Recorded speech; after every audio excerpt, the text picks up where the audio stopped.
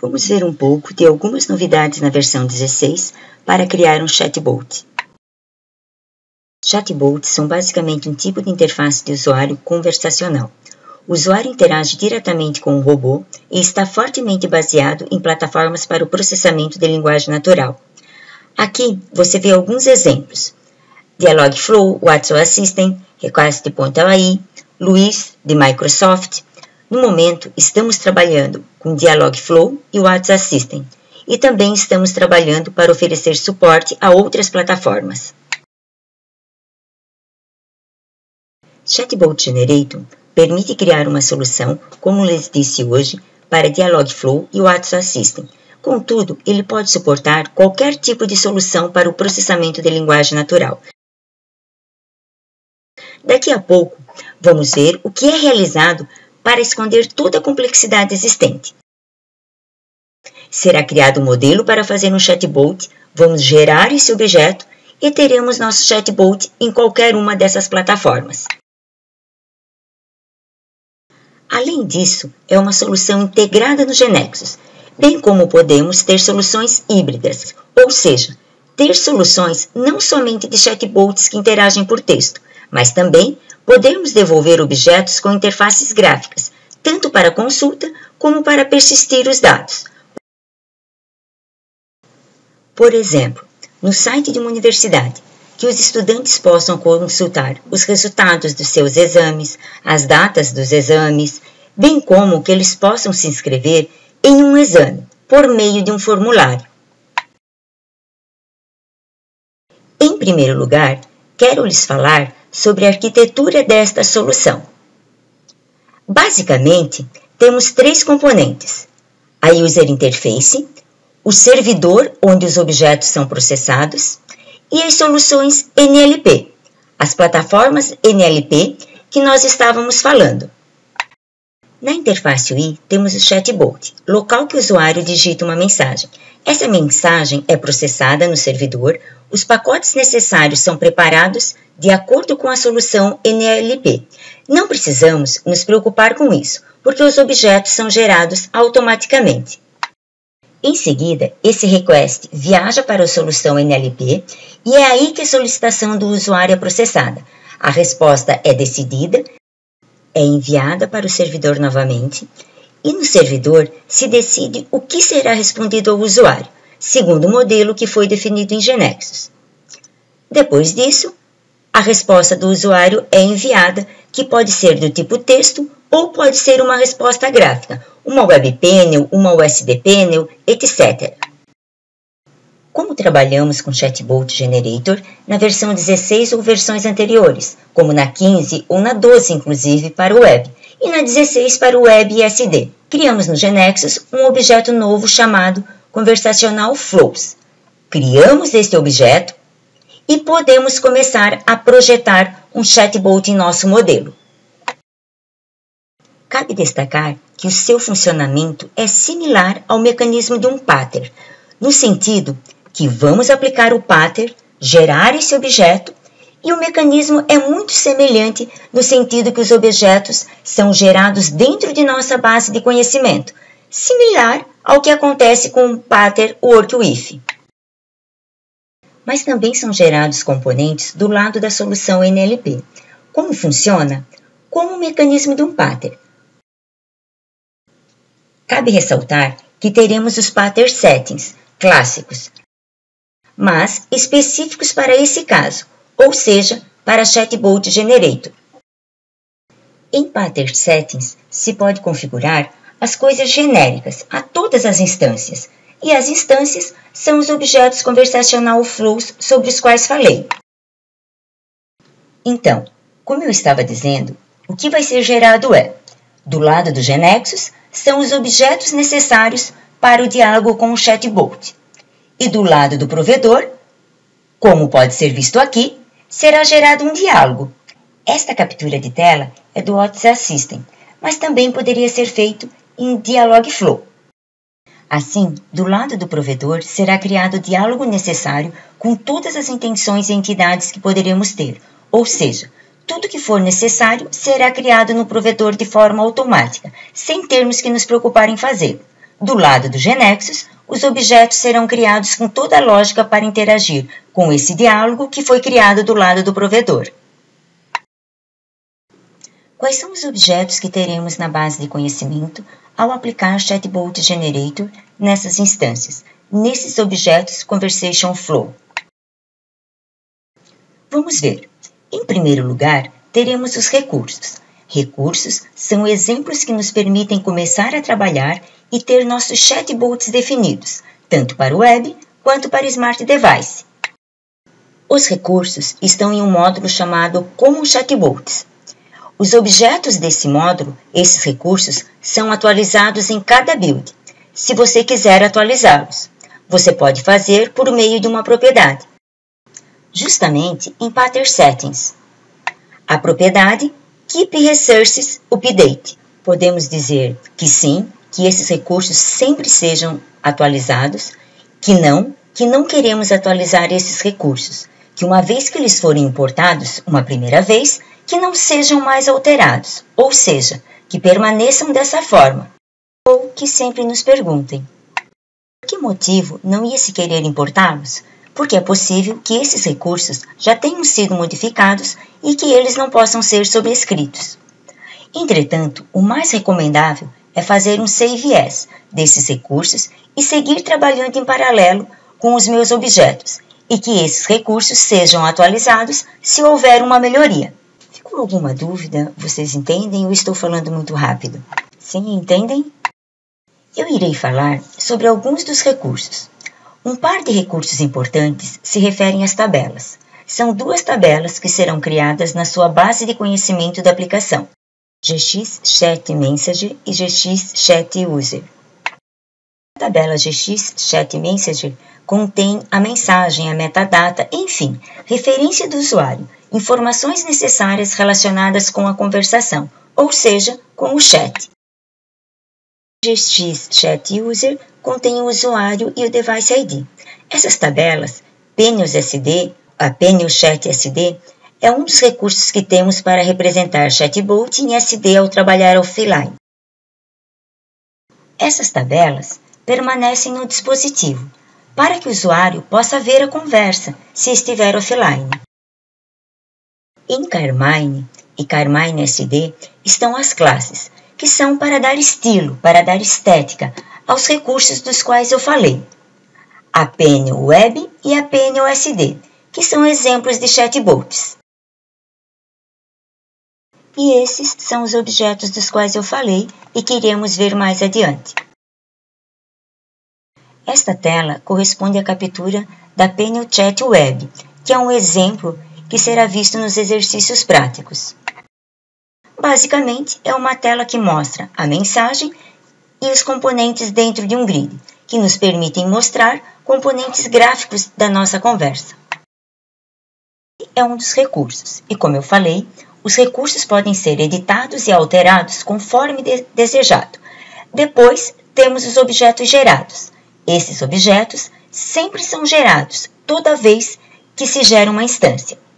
Esses objetos não devem ser alterados, pois as mudanças seriam perdidas. Os objetos gerados ficam em um módulo abaixo, que leva o nome da minha instância, o nome do chatbot, do Conversational Flow, Em particular, existe um par de objetos que levam o nome da minha instância, seguido por WebUI ou SDUI, que chama a tela web ou a tela SD, segundo o corresponda. Esse é o módulo dos meus recursos. Se chama objeto para chat web ou SD, passando como parâmetro o provedor e o nome da instância. Digo isto porque posteriormente vocês podem querer chamar esse objeto, esse recurso, de outra forma. Por exemplo, como se fosse um componente, precisando levar em conta com quais parâmetros ele deve ser chamado. Falamos dos recursos, falamos dos objetos que são gerados, e outro componente que está incorporado na KB é o módulo externo, que contém tudo que for relacionado com a interação com objetos, com a lógica, que permite conversar com o chatbot. Contudo, são expostos alguns métodos interessantes. E quero lhes contar esse, Send Entity Values. Esse método é interessante se você quiser atualizar as entidades dentro do provedor.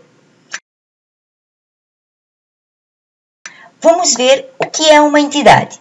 Basicamente, uma entidade é informação adicional que permite ao provedor identificar a intenção do usuário.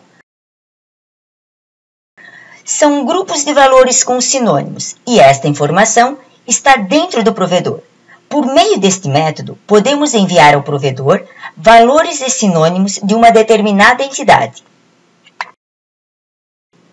Bem, então, como criamos um chatbot usando o Genexus?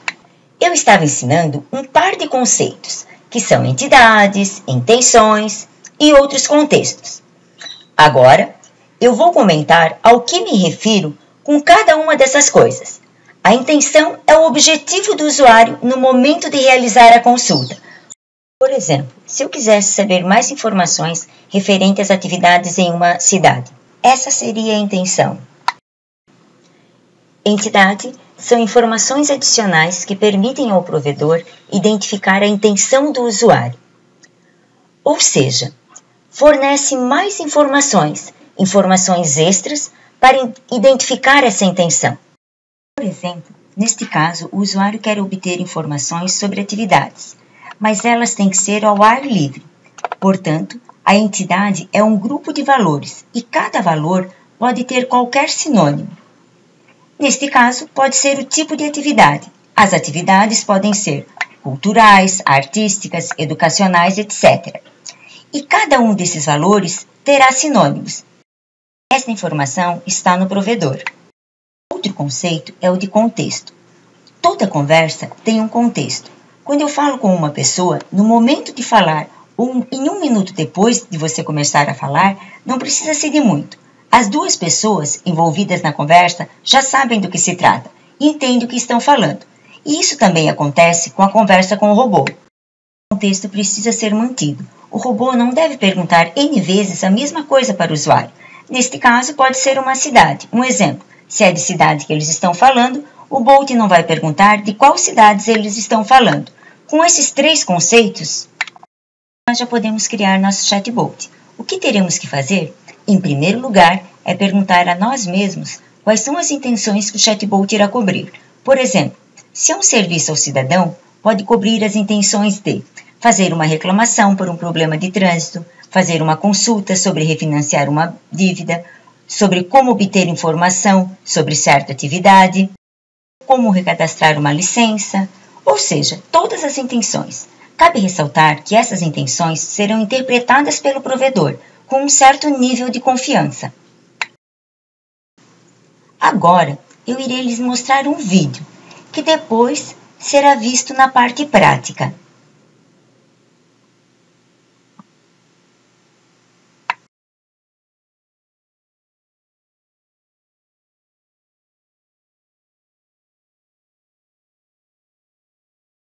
Qual é o nível de confiança? Isso é aprendizado de máquina é um processamento de linguagem natural. Então, até certo ponto, as coisas são interpretadas, mas não é matemática. Ou seja, quanto maior o nível de confiança, maior a probabilidade de você poder dizer a intenção do usuário. Como de perguntar sobre as atividades culturais ou atividades artísticas. Não é matemática pura, e sim processamento de linguagem natural.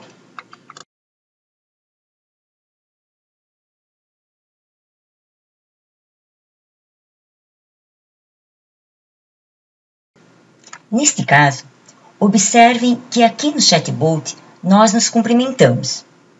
E a primeira coisa que o chatbot diz é: eu sei responder sobre três coisas. Eu sei responder uma pergunta que você fizer, marcar uma entrevista e eu sei realizar uma reclamação. O chatbot irá falar sobre uma quantidade limitada de, de coisas e é bom que seja esclarecido e dizer ao usuário do que o chatbot irá falar. O usuário diz: Eu quero fazer uma consulta. E o Bolt diz: Bem, eu posso responder em relação às atividades e processos administrativos. Isto, evidentemente, são entidades, ou seja, atividades e processos administrativos são dois valores de uma entidade que o Bolt sabe responder ao usuário. Esses valores, esses sinônimos, estão no provedor. Por exemplo, o usuário diz: Bem, eu quero falar sobre atividades ou quero falar sobre os processos administrativos. O importante é que me diga um desses valores ou algum dos sinônimos desses valores, para que nós possamos nos entender, sabermos do que se trata.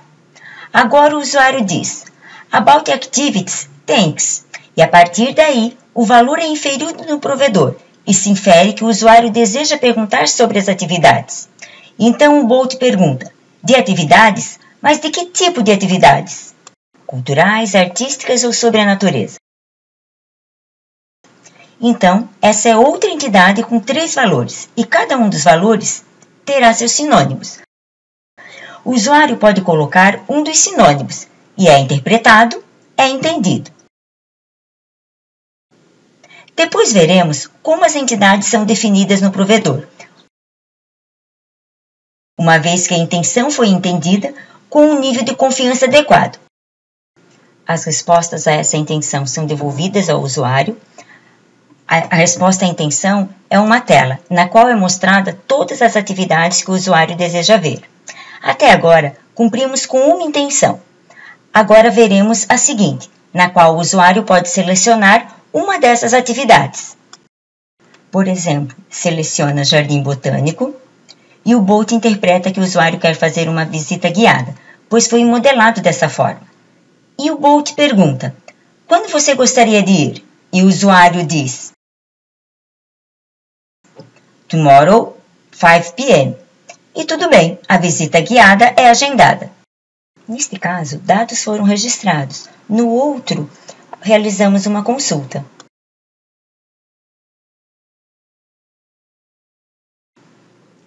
Como realizamos tudo isso?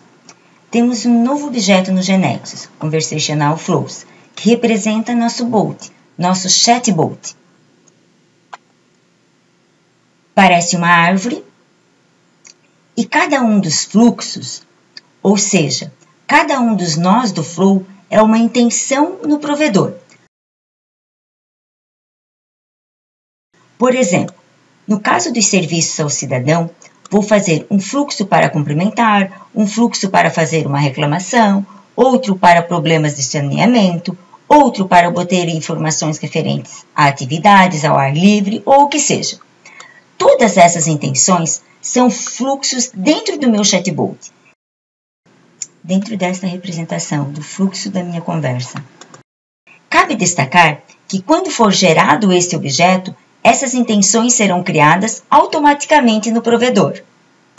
Agora, voltando à sua pergunta, eu tenho que ajudar o provedor a entender a intenção, porque existem mil formas de perguntar sobre atividades da cidade. Talvez não de mil maneiras, mil formas, mas pelo menos de algumas formas.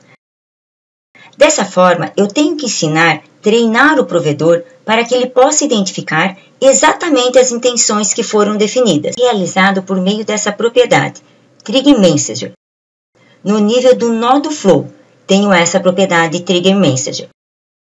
Local que é informado as possíveis formas que o usuário pode perguntar, sobre como obter informações sobre as atividades, descobrir informações de lazer, de eventos sociais e assim por diante. Esta informação é retirada dos log e do que, vai, e do que se vai aprendendo. São as informações que foram idealizadas pelo desenvolvedor, informações aprendidas com análise, ou até mesmo retiradas de algum projeto piloto com alguns logs e aprendidas das formas que o usuário perguntou algo, por exemplo, e até falhou. É um processo de treinamento e, como qualquer processo de aprendizado de máquina, envolve um processo forte de treinamento. Obviamente, não temos que ser exaustivos em todas as formas que essas informações sejam ditas, devido que, como está por baixo o processamento de linguagem natural, tudo que estiver com uma semântica equivalente a qualquer uma dessas questões trará o mesmo resultado. Quando você diz que está aprendendo essas questões, isso significa que eu terei que gerar novamente a KB ou posso fazê-lo online, à medida que são incorporadas. Hoje trabalhamos exclusivamente nos genexos, assim. Mas, quando adicionamos mensagens de gatilhos, tudo o que você precisa fazer é salvar. Quando você salva a instância, você tem um JSON com a parte nova que foi incorporado. Viaja ao provedor Watson ou Dialogflow e adiciona a nível das intenções. E adicionada a nível das intenções. Neste exemplo, o Watson Assistant. Hoje é unidirecional, da KB para o provedor.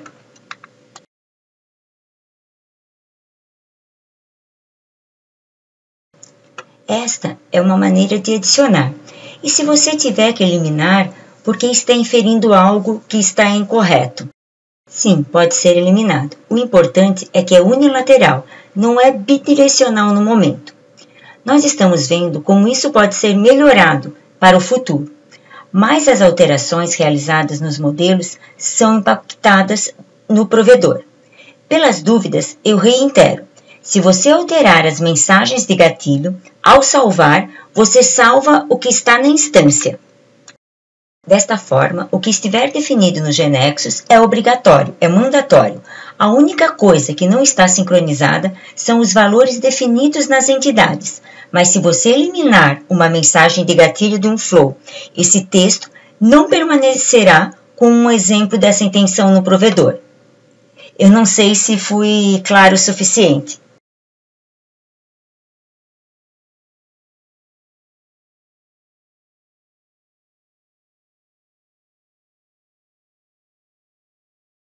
Eu realizei alguns testes e vi que o Genexus está sempre gerando o objeto em inglês, mas não descobri como alterar isso.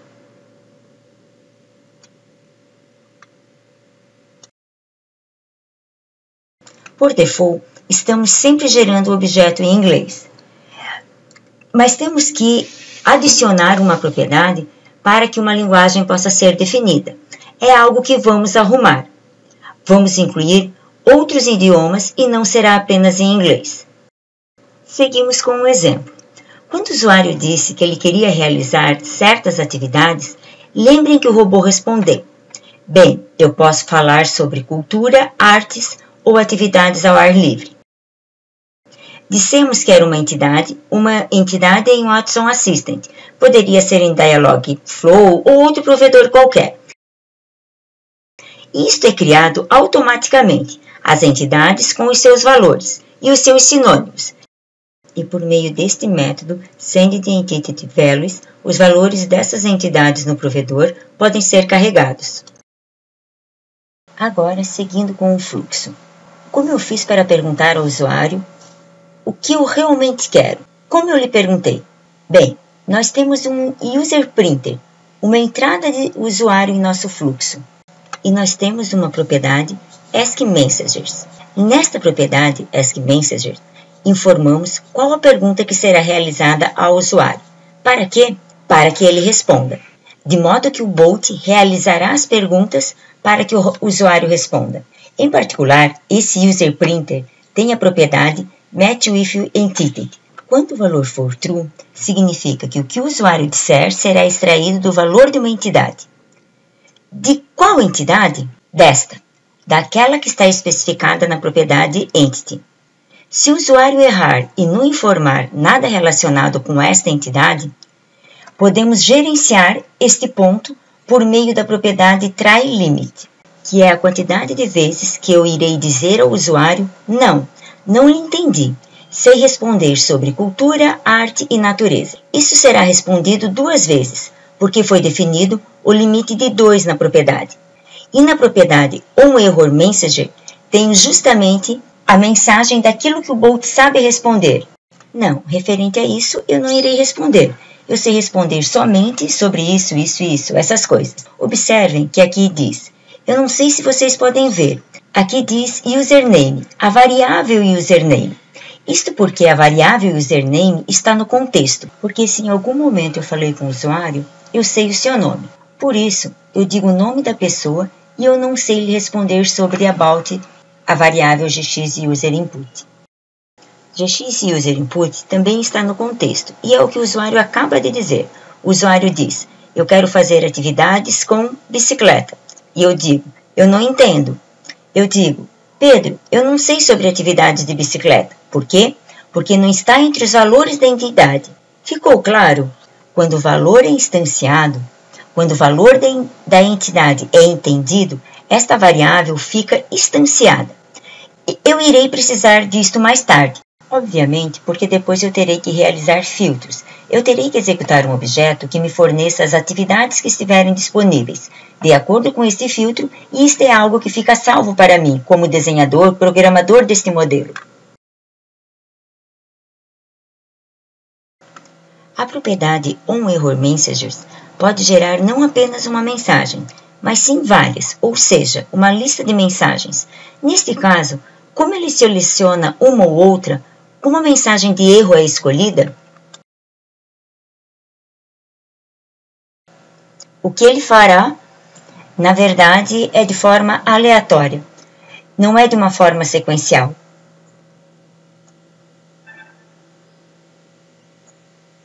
Ele apenas tira um dessa coleção. Em tempo real, ele sempre tira uma mensagem diferente, algo que soe mais inteligente, para que não se pareça com um robô.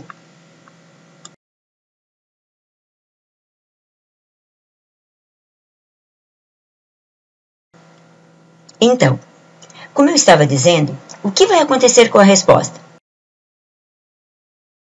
Eu já sei o que o usuário quer. Eu vou procurar por uma resposta. Para a resposta, o que eu irei fazer é executar, se executa de forma automática um objeto que está configurado na propriedade Conversational Object. Neste caso, poderia ser um procedimento. Temos aqui um Data Provider, que vai receber como parâmetro o tipo de atividade que o usuário quer realizar. E eu procuro todas as atividades filtradas por esse valor. Importante, quando nós atribuímos a propriedade Conversational Object, automaticamente é inferido no meu fluxo tudo que for relacionado aos inputs desse data provider, desse objeto, e o output desse data provider. Ou seja, origin originalmente eu teria um fluxo assim, como este, vazio, atribuir a propriedade Conversational Object com um Data Provider. Esse Data Provider recebe como parâmetro o tipo de atividade e a saída é uma coleção. Desta forma, automaticamente no fluxo, eu tenho, ou melhor, infere-se a entrada e a saída. Por que eu preciso disso tudo? Porque eu tenho a possibilidade de gerar de forma automática um objeto. Um objeto com essa informação. Para quê? Para a resposta, um componente será gerado, neste caso, uma tela SD, com esta informação, com essa informação que está no meu modelo. Basicamente, o que esse objeto irá fazer é chamar o meu data provider.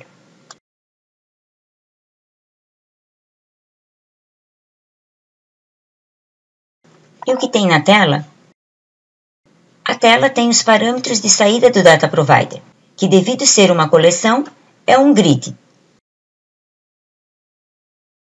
um grid com todas as atividades disponíveis, filtradas justamente com o que o usuário deseja fazer. Não existe obrigação de ser utilizada a tela que foi gerada automaticamente. Também é possível utilizar uma tela que eu tenha criado.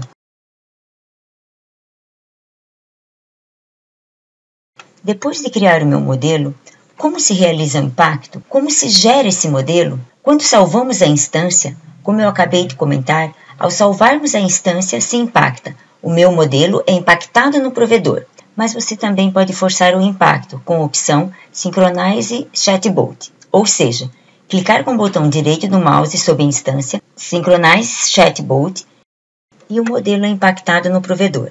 Temos a opção Generate Chatbot, onde o build também é realizado quando necessário. O que faz é gerar todos os objetos da minha cabeça, todos os objetos gerados que eu falei hoje. Esses objetos são gerados na opção Generate Chatbot. Outro exemplo que estávamos vendo hoje se refere ao agendamento de uma visita guiada. Apesar de ser igual ao outro exemplo, me pareceu importante trazê-los para vocês por dois motivos. Um deles é devido não ser necessário solicitar a atividade ao usuário, porque a atividade está implícita, está no contexto. Já conversamos sobre atividades, ou seja, já se sabe qual é a atividade no momento que se quiser agendar a visita guiada. Obviamente, a atividade que estivermos falando. E isso é importante, justamente pelo que falamos de parecer uma conversa com uma pessoa. E user input é a data.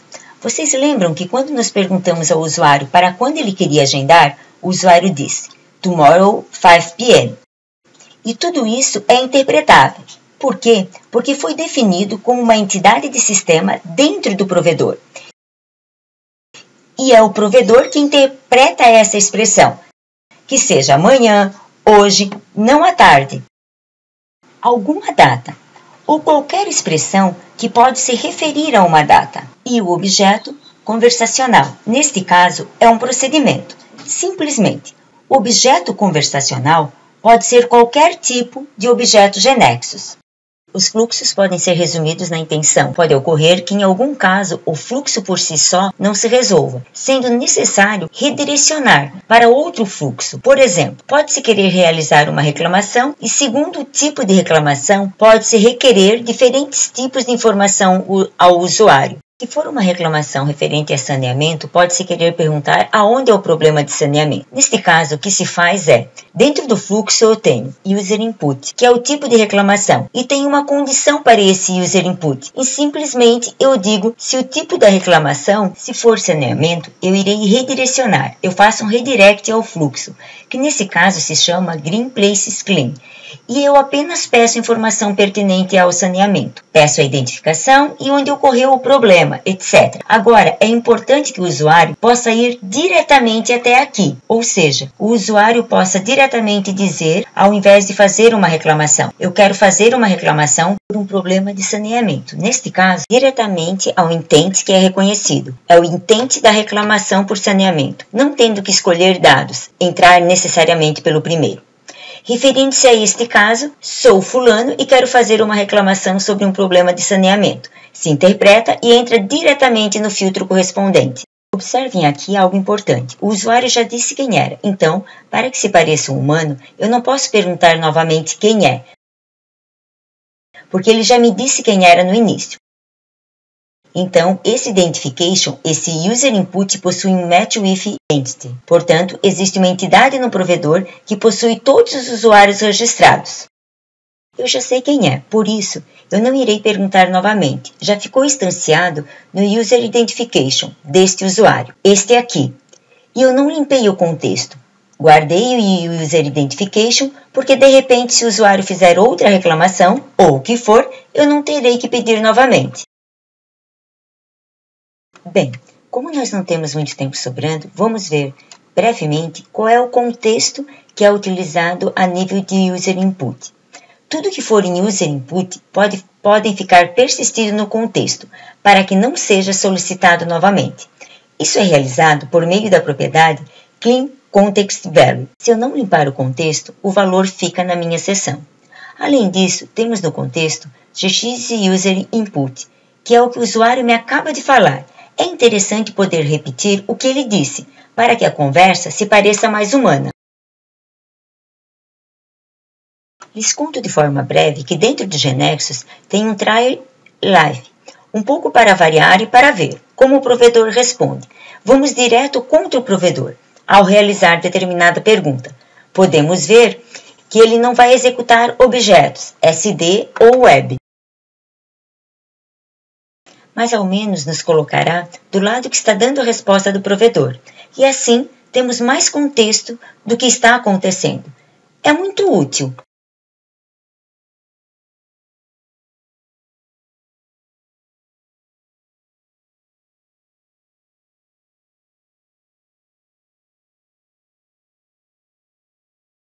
Uma consulta.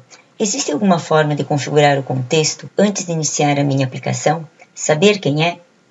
Sim, podemos gravar o contexto, mas não o incorporamos. Hoje pode ser realizado manualmente. Podemos adicionar métodos à API para alterá-la mais facilmente. Incluso quero complementar uma coisa a mais. Ou você quer perguntar algo mais? Não, apenas o tema de idioma e como resolver na aplicação do evento. A aplicação do evento está totalmente em inglês e utilizando as traduções em tempo real. O Genexus não, não está aí. É um módulo novo que temos e o que foi realizado foi colocar todas as mensagens em inglês. Desta forma, temos muito mais confiança, muito mais certeza ao responder e depois traduzimos de volta.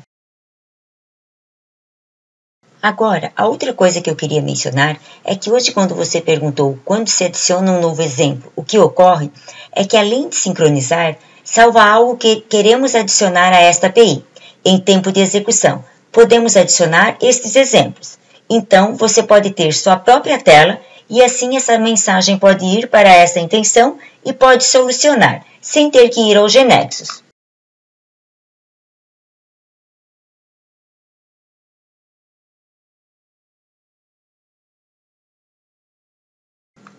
Vamos supor que eu estou fazendo um chatbot para um supermercado e escolhemos uma entidade chamada Produtos e tenho milhares de produtos.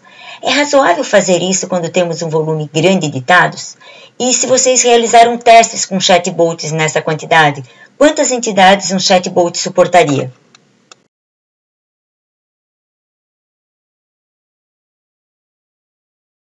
Essa é uma questão bem complicada na realidade, porque justamente não parece ser a melhor prática colocar mil, dois mil na mesma entidade. É uma questão de treinamento. Tem que ser verificado em cada modelo qual a maneira de resolvê-lo. Em outro caso, me perguntaram em um caso mais extremo, eu tenho um milhão de usuários, o que eu faço?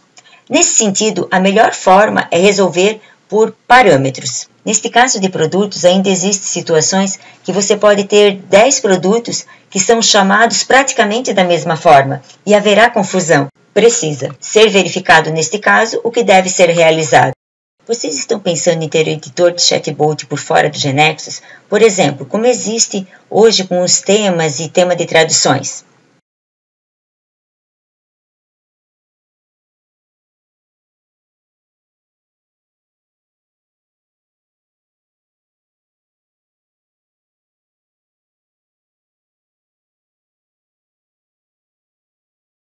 Por hora não.